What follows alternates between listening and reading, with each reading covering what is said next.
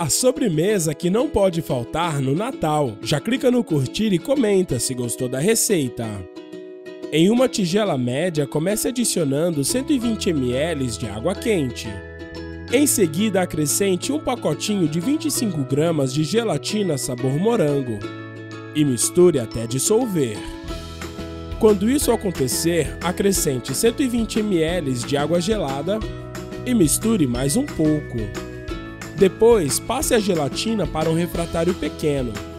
Leve para a geladeira e deixe gelar até ficar firme. Enquanto isso, em uma tigela média, acrescente meia caixinha de 395 gramas de leite condensado, uma caixinha de creme de leite e misture até homogeneizar.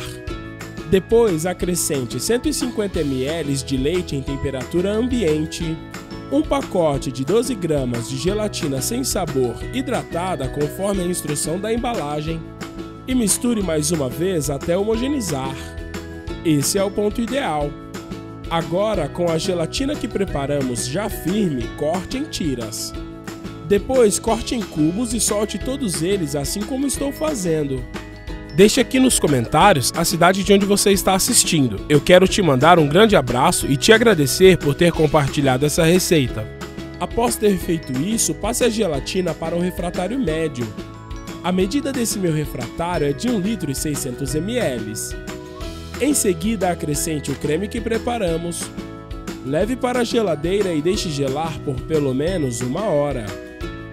Enquanto isso, em uma panela média, acrescente uma caixinha de 395 gramas de leite condensado, duas caixinhas de 200 gramas cada de creme de leite, uma colher de chá de essência de baunilha.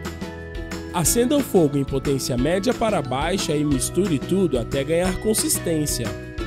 Você já tem o nosso aplicativo Aquela Receita aí no seu celular? Ele já está disponível para ser baixado. Eu vou deixar o link do aplicativo aqui nos comentários. Corre lá e já coloca para baixar. Esse é o ponto ideal. Apague o fogo e deixe o creme esfriar um pouco. Quando isso acontecer, acrescente 100 ml de chantilly, misture tudo até homogeneizar e reserve. Agora, com a sobremesa gelada, acrescente 300 gramas de morango cortados ao meio nas laterais da travessa, assim como estou fazendo. Depois, acrescente o creme que preparamos. Decore com raspas de chocolate branco e morango a gosto.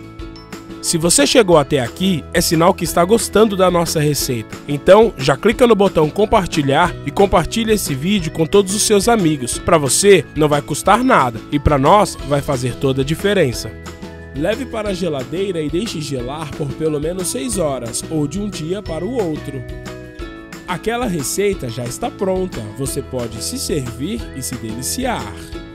Eu espero demais que você tenha gostado dessa receita. Agora eu vou voltar lá para os comentários e continuar respondendo a todos que deixaram o nome da sua cidade e te agradecer por ter compartilhado essa receita. Até a próxima receita. Tchau!